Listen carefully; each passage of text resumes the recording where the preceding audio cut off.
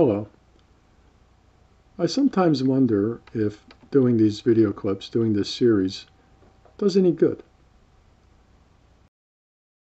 I sometimes talk about what could be, could be considered dark themes, our smallness in relation to the size and age of the universe, death. I criticize religion sometimes. Religion gives comfort and solace to many people. And so I wonder is it doing any good? Should I just stop and live and let live? Let people go along their merry way? Well, one thing is, I don't go door to door trying to get people to watch these clips. I hope that the only people who watch them are people who are getting some benefit out of them. But a more fundamental answer is that I believe the truth is important. Not that everything I say is true, but I telling the truth as I see it, and I believe that the truth, finding the truth, is important. In a previous clip, I dramatized that. I talked about how the ancients knew about magnetism and static electricity, and how, based on magnetism, the compass was eventually developed, and then how Clerk Maxwell investigated electromagnetism, came up with these equations. Based on them, we got radio, and we got x-rays and uh, then Einstein went on to puzzle about certain aspects of those equations and came up with this.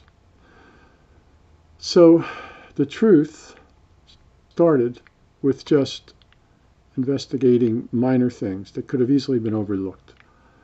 I also, in another clip, went on to say how that power of finding the truth, of understanding the physical world as embodied in Newton's laws and also other physical principles, gave Western Europe tremendous power. Now, they didn't always use that power well. There was the era of colonialism when they went around conquering uh, country after country. At one time, the country wasn't, for instance, just the Congo, it was the Belgian Congo. The Belgians ruled that, I guess. At one time, it was said that the sun never sets on the English Empire, the British Empire, and that was literally true. There were enough nations in the British Empire that the sun never set. It was always shining on one of those nations or another. So I feel that truth can give us tremendous power, and it's useful and worthy just as a pursuit in itself.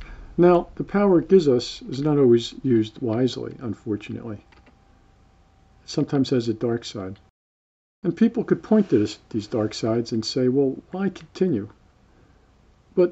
It's given us more, I think, to the good than to the bad. It's given us understanding quantum mechanics has given us cell phones and computers and GPS. And I remember um, reading that people in the late 1800s in Iowa lived in sod houses, basically a form of mud house, because there wasn't much timber out there.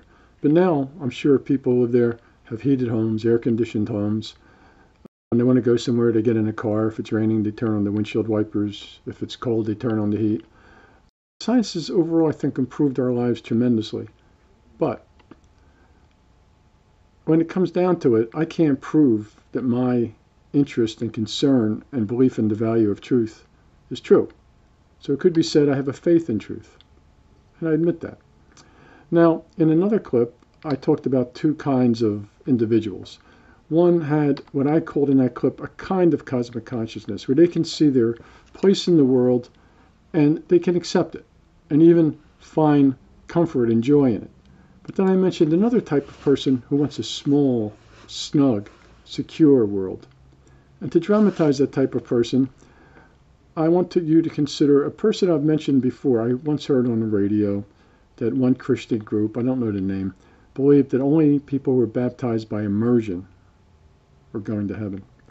And so I'm going to ask you to put yourself in the mindset of someone like that. And they probably probably believe that the creator of the universe loves them.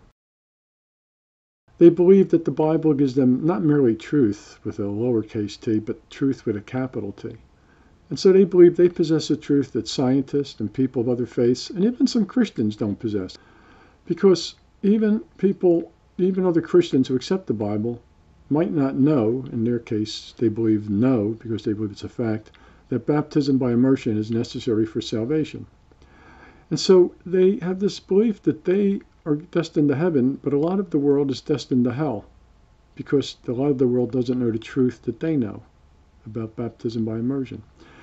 And all those scientists who studied the earth and believe the earth is billions of years old, they know that they're wrong. They know that the earth is really a few thousand years old.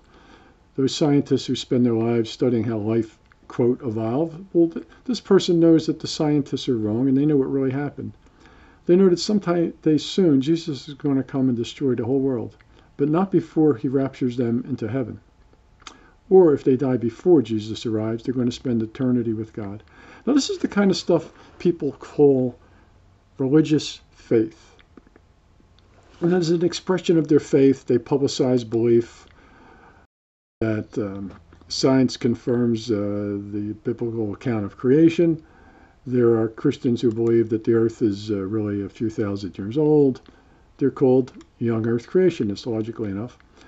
I believe the faith of such people is really idolatry in a book. That's what I believe. I feel that pursuing the truth, even when it looks uncomfortable, even when it looks dark, that believing that it's worthwhile to pursue, I believe is a more genuine type of faith than the standard religious faith. In fact, isn't religious faith really a lack of faith? A lack of faith in following the truth as we see it, a lack of faith in the ultimate goodness of the universe, a lack of faith in our own mind. For me, I have a faith that idea matters, ideas matter, and that true ideas matter the most. I have a faith that just because an idea is unpleasant, that doesn't mean we should reject it. The first question we should ask is not is, it, not is the idea pleasant, not is it comforting. We should ask, is it true? I feel that we should desire truth more than comfort, much more. And I feel that if we compare the two kinds of faiths,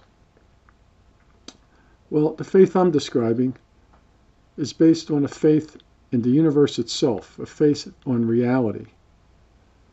And if a person is a theist and believes in God, then they have to believe with absolute certainty that God created the universe. In contrast, a faith in a scripture or a religious leader, they can only, it seems to me to be a less secure kind of faith. Religious leaders disappoint us sometimes. Scripture needs a lot of care and feeding. No one can seem to interpret it correctly. People disagree. But if you're a theist, you know that God created the universe. And it seems to me that a faith in reality and in the truth is superior to religious faith. Thank you.